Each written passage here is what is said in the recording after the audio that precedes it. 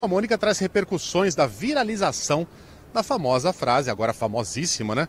Do ministro Luiz Barroso, perdeu o mané. Bom dia, Mônica. Oi, Megali, bom dia, bom dia a todos. Pois é, essa afirmação do ministro do Barroso em Nova York, ela viralizou, né? É, perdeu o mané, não amola. Ele falou isso para um manifestante bolsonarista em Nova York né? E viralizou num grau, né? E o ministro sofreu críticas também e elogios, virou meme para todos os gostos. O ministro, é, numa conversa comigo, assim, ele quis explicar um pouco o que, que aconteceu lá, né? O que, que ele disse? Ele disse que os ministros foram convidados para o para a Lead Brasil Conference em Nova York estavam cercados na rua pelos bolsonaristas que urravam na direção deles. É, teve um grupo que chegou a se jogar na frente da van onde os ministros estavam, Megali. Isso está rodando na internet, esse vídeo. É, deitaram no meio da rua, socaram o carro, quase viraram o carro. E o que, que o ministro diz?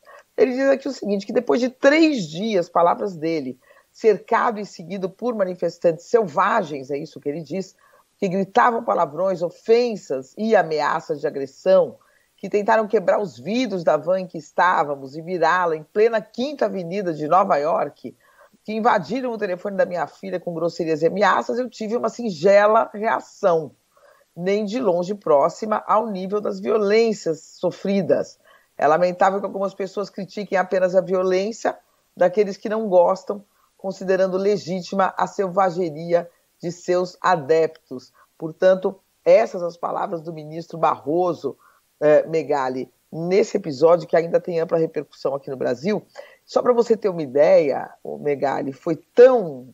Foi uma loucura tão grande, né? foi uma agressividade tão grande, foi algo tão inesperado, porque protestos eram esperados em Nova York, mas não com o nível de agressividade que os bolsonaristas em Nova York mostraram. Né? Então, é, a coisa foi tão surpreendente que o consulado americano, o consulado do Brasil em Nova York, melhor dizendo, é, acionou a polícia de Nova York, acionou a polícia diplomática, acionou o Departamento de Estado, e a polícia de Nova York, no, depois desses episódios de grande virulência, mandou 15 policiais lá, metade a paisana, para ficar circulando entre os bolsonaristas, para tentar entender por onde eles iam caminhando, porque eles saíam correndo para um lado, saíam correndo para outro quarteirão.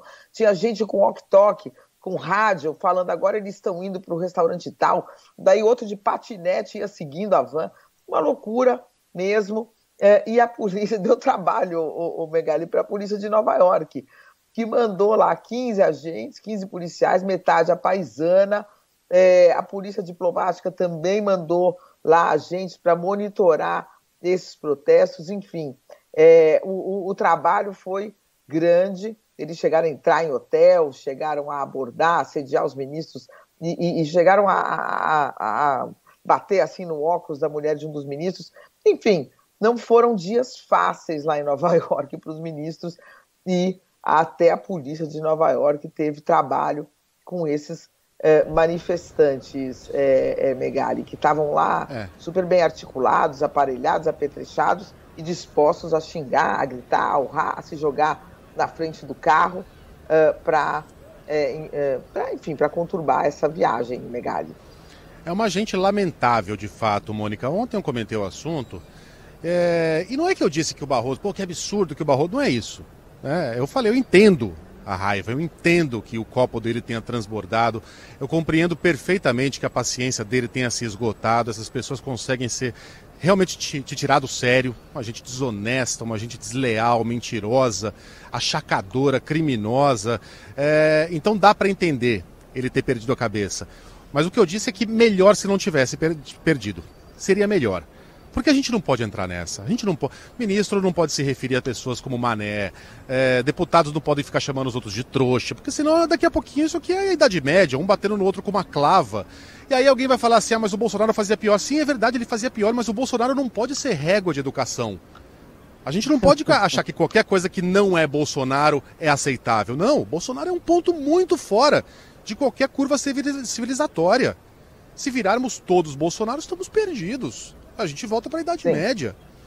Pelo amor de Deus.